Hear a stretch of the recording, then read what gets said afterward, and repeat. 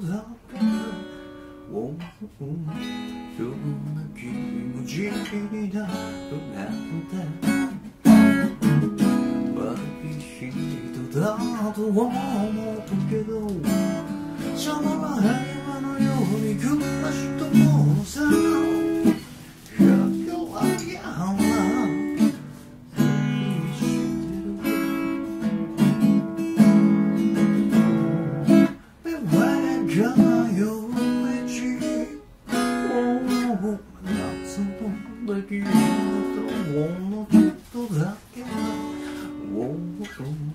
弱々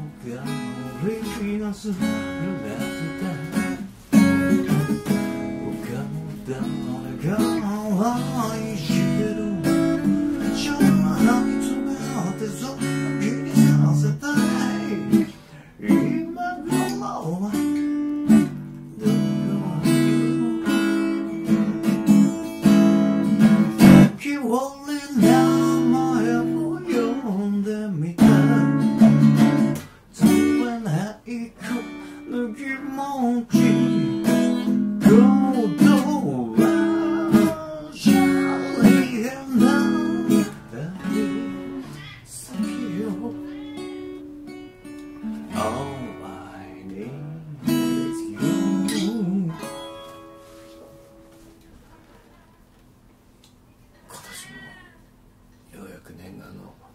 海水浴に行ってきて1年の計はやっぱり海水浴にあるなと思うんですよ。この日のために1年頑張ってきたっていう感じがこの日にぶつけるんだって感じがすごく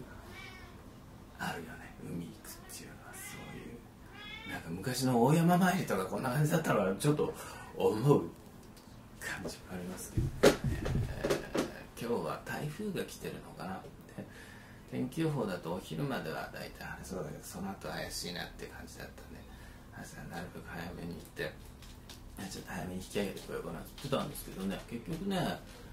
1時ぐらいまではビーチにはいたのかな。でまあその辺から風が強くちょっとなってきた感じだったんですけどあの全体に少し曇ってて晴れ間もあるんですけどあの気持ち曇ってる感じで風もそれなりにあってねななんか暑すぎず涼しい感じで過ごしやすい感じでね帰ってよかったみたいなねあのよかったですね。えで桜貝があっちあ葉山。今日葉山の方のビーチに行ってきたんですけど去年は由比ヶ浜でね由比ヶ浜はね桜貝割と有名でしょ？なんだけど実際に由比ヶ浜はあんまり落ちてる印象ないですね。逗子とか今日行った葉山はなんか結構落ちてて俺がなんかビール飲んで寝て間奥さんなんかブログってどこ行ってどう行ったんだろうと思ってさしばらくしてこんな桜がこんな両手にかかって持って帰ってきてさいっぱい広げてますそその葉山も結構落ちてるんでね、えー、桜貝拾うんだったらこっちの方がいいかもしれないね。